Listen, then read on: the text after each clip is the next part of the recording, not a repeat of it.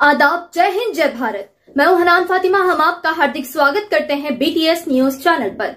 BTS news channel India की हर सच खबर आप तक पहुंचाते हैं।